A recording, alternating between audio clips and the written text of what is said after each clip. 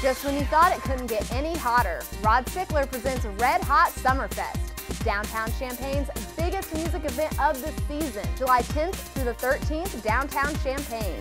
Donations at the door benefits RACES, rape advocacy, counseling, and education services. Rod Sickler's Red Hot Summerfest. Rod Sickler's Red Hot Summerfest is sponsored by O'Brien Auto Park, Advanced Aesthetics, Aloxi International, Stephanie Pratt & Associates, Illini Radio, and X49.